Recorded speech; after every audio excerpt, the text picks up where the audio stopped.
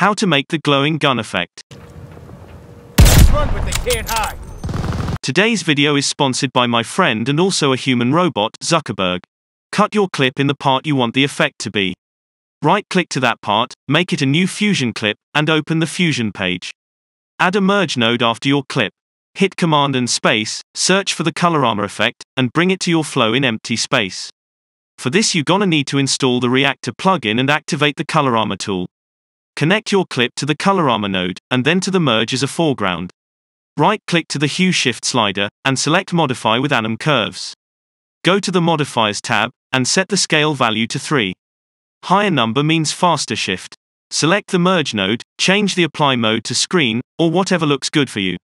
Add a mask paint to the Merge node. Make sure that you've selected the multi-stroke, and start to paint over the gun. You can always take the eraser tool and clean over the edges. Go frame by frame and paint the gun, spend all your weekend on this, and you will end up with few milliseconds of hardcore effect that no one will ever notice. One more thing, I've just become a YouTube partner. Now I'm a YouTube celebrity and I'll become a millionaire. So don't expect me to comment back on you. I belong to the high society now. If you liked this clip, subscribe to this channel. If you didn't, I will meet you in Team Deathmatch.